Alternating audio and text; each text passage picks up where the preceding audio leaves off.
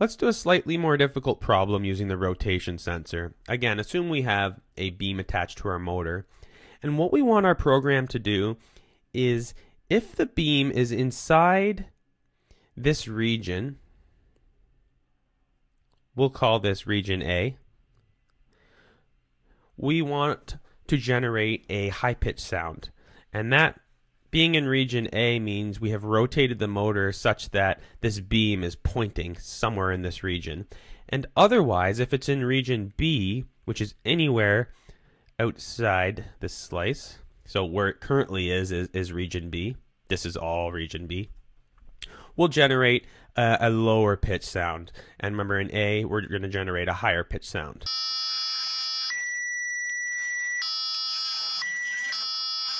Remember, our motor is equipped with a rotation sensor, and we can solve this problem by controlling a switch statement based on logic. And now, logic is the language of true and false. It's the language of robotics. If we pose this question in terms of uh, logic, we just need to be a little bit more specific. So remember, x can take a value from 0 to 360. And let's say we did some tests and by polling our sensor and we said this is zero the zero position and we realized this is uh, 100 degrees here and over here is 200 degrees. So now our question is if we're thinking like a robot is x and yeah this is not to scale at all is x which is the current reading in degrees of our, our rotation sensor, somewhere in this region. And this is region A here on this little number line, and B is anywhere else. And we can answer this question with true or false, yes or no. If it's in A, we say yes, yes, or true in terms of logic. If it's not in A, we say no, it's not in A, false. And now the final step is to do something with this true false condition, such as generate, if it's true, we'll generate our high pitch sound, and if it's false, we'll generate our low pitch sound. So let's go ahead and build this. First have the, the user zero the rotation reading using the orange button on the brick. And the way we do this is to drop a wait block, which is under flow, onto our beam. And beside the wait block, I'm going to drop the rotation sensor. Now, first, look at the wait block. Click on it and see that it is set to wait for the touch sensor to be pressed, but we want to switch that to NXT button. So now what's happening is, see it's set to the enter button. Our program will begin and it will halt here until the user presses the button, then it will jump ahead. So what that'll allow us to do is have the user press the button to zero the rotation reading. And in this case, I'm going to click on my rotation sensor. I'm going to set it to port C. That's where I plugged in my motor. And under action, instead of reading from it, we're just at the stage where we want to zero it. So I'm going to click on the reset radio button. And that's it. After that, I'm going to play a sound so the user knows that they have zeroed the motor and I think most appropriately would be zero.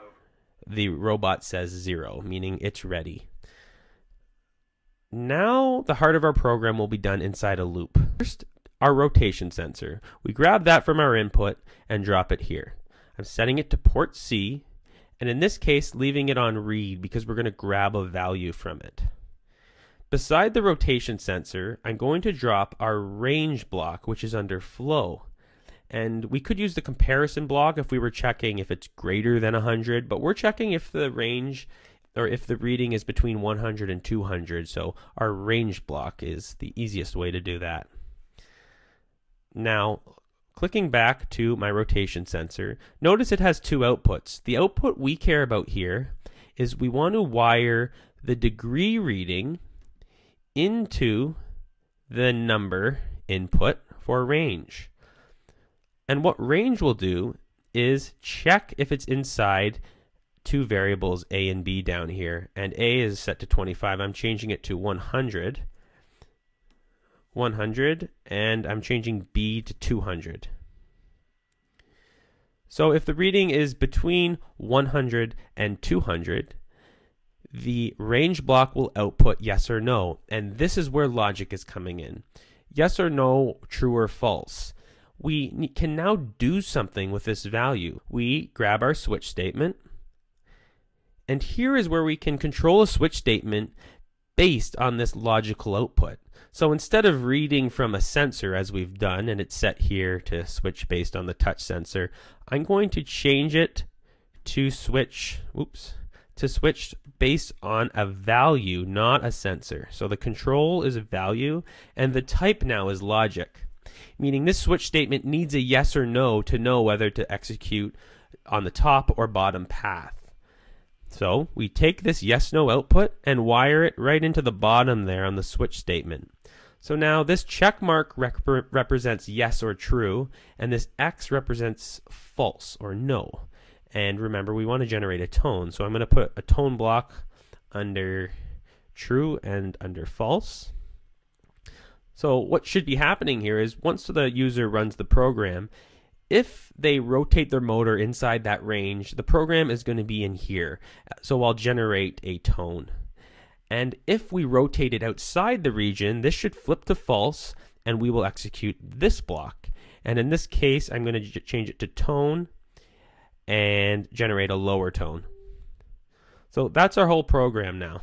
This will now output a tone based on what region the rotation sensor is in. And let's see it in action.